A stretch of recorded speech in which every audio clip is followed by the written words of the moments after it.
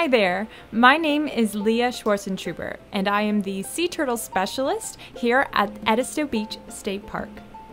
I am permitted by South Carolina Department of Natural Resources in order to conduct our sea turtle activities, as they are a federally and statewide protected species.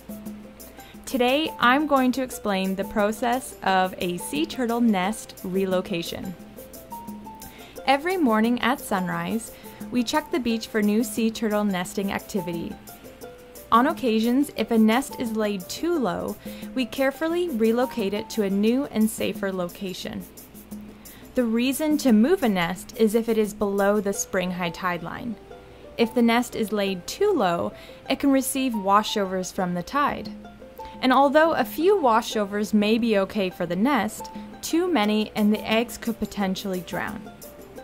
To move the nest, we carefully pick up one egg at a time and place it in a clean bucket. Sea turtles average 120 eggs per nest, so it can take us some time uh, to do this process. We also cannot rotate the egg, as they may have started to develop already. Rotating could then stop the development, so we are extra careful when we move a nest to ensure its success.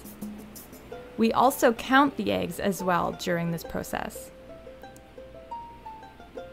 So as you can see, it does take a while, so I am going to speed up this video for us.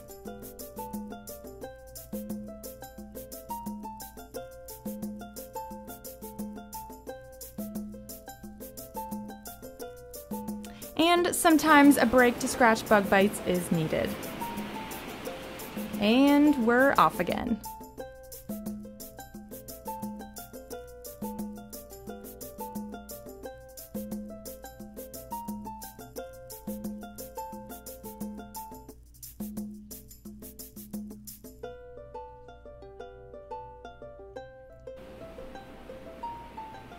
So all the eggs are out of the chamber. So now we measure to see how deep the nest is, so we can recreate the same depth in the chamber that we dig.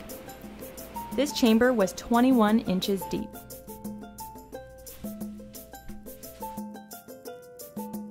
Then we slowly put the eggs into our newly dug chamber, again one at a time without any rotation. The chamber looks a bit like a light bulb. It's wider at the base and then narrows at the top. There were only 80 eggs in this nest. One egg was taken for the DNA study we are a part of, so 79 eggs were buried below. And now they're all safe and sound in the new chamber. Now we cover back up with some moist sand on top. We also really pat the sand. So when the sea turtle nests, she puts her body weight on top of the nest when covering, which could be over 300 pounds.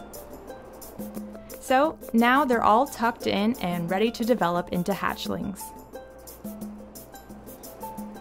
We put a plastic screen on top to prevent raccoons from digging into the nest.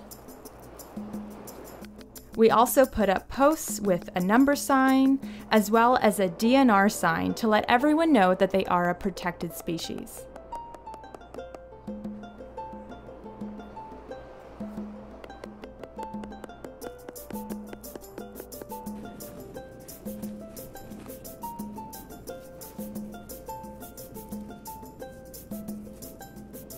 And we finish it off by putting orange flagging tape around the nest. This nest was marked as nest 94 on our beach. 53 days later, it hatched. And it did very well too, with 73 hatched, 6 unhatched, and no hatchlings found in the nest, which means they were all strong enough to make it out on their own. For a success rate of 91.2%.